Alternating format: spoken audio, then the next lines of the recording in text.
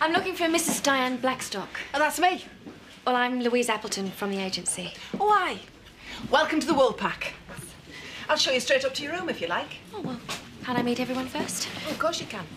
Well, you know who I am. It's Diane, by the way. No Mrs., no Blackstock. And this is Carlos, our chef. Mm. Never would have guessed. And a bunch of assorted ne'er-do-wells. Sorry, valued customers. That, Terry Woods, love. Pleased to meet you, Terry. And that's Sean, Ashley, and Richie.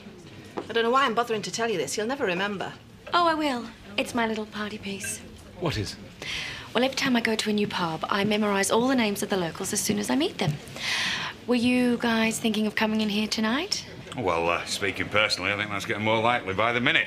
Well, if you do come, I'll try and remember all your names. And if I don't, I'll pay a forfeit. What sort of forfeit? Well, I don't know. It's never happened before. We'll have to think of something, won't we? Sounds good to me. I'm Nicola. Oh, hey, what am I thinking of? Sorry. And this is Nicola, my daughter Bernice's half-sister. It's a long story. Pleased to meet you, Nicola. Shall I take that up for you? You get back to the kitchen, I'll do it. Well, I'll uh, see you all later, I hope. Very nice. Well, I would say she was going to be a definite asset. I'd say I could do with another pint. No, just the one. We might be in for a big session later on. I can see the attraction of spending the evening in here, but tonight is running night, remember? You could always skip the run uh, come straight here. You never know. She might like to see manly sweat dripping into your beer. Carlos, don't encourage him. No, I'm just joining in the spirit of things. Anyway, we won't be here. We're going out, remember? I haven't forgotten. Never mind, Carlos. Do you want another drink or not? Evening, Terry. What can I get you?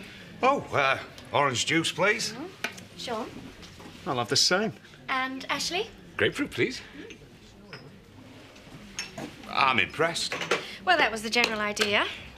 And what about Richie? Is he on his way? Oh, he might be. But he doesn't come running with us.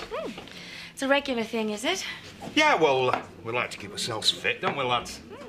It shows. Oh, you're, uh, you're in pretty good shape yourself. Well, you've got to look after what God's given you. Isn't that right, Vicar? How did you know that? Well, I've been doing my homework. Look, um, tell us, Louise, if you had got one of our names wrong, what would you have done? Well, I don't know, Terry. What would you most like me to do?